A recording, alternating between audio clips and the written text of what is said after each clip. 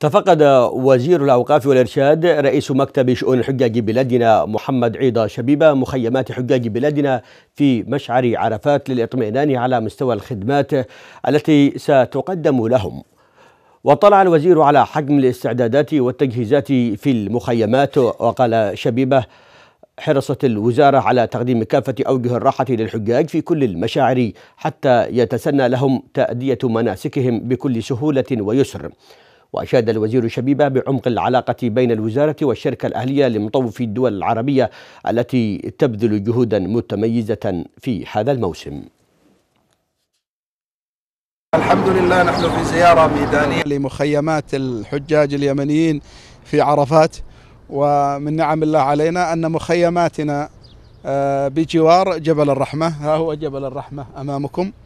وهذه هي مخيمات اليمنيين. والمخيمات هذا العام بمواصفات جميلة ورائعة ومريحة للحاج. المخيمات ألمانية مقاومة للحريق تكييف بالفريون وليس صحراوي كما كان في الماضي ومرتفعة جدا من أجل التهوية ومن أجل راحة الحاج. الفرش وما يتعلق بلوازم الحاج ثلاجات فريزر من النوع الضخم والكبير. كل الفرش كل ما يتطلبه الحاج مريح وجيد ومواصفات عالية وهذا من فضل الله سبحانه وتعالى. ولا ننسى أن نشكر إخواننا في المملكة حكومة وشعبا على ما يقومون به من جهود في خدمة حجاج بيت الله الحرام.